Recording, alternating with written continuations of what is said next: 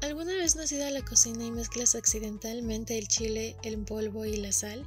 Hola, soy Lily y te voy a explicar que por medio de la electrostática podemos separar muy fácilmente estos dos elementos. Lo que vamos a necesitar es platos, tela y una cuchara de plástico.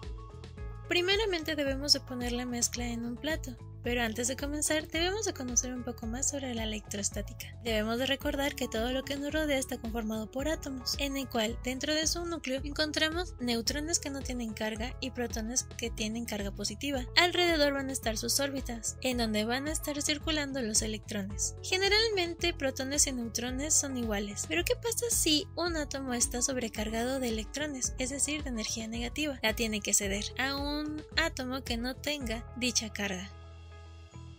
Es aquí donde la electrostática va a entrar en acción por medio de la fricción, con la cuchara y la tela. Al generar esta fricción, la cuchara queda cargada de forma positiva, lo que va a atraer a los electrones que tienen carga negativa. Recuerda que cargas diferentes se atraen, cargas iguales se repelen. De esta forma vamos a poder separar muy sencillamente nuestra mezcla de la sal y el chile en polvo. Y así es como muy sencillamente podemos separar sal y chile en polvo. Espero que esta explicación te haya ayudado. Nos vemos en el siguiente experimento.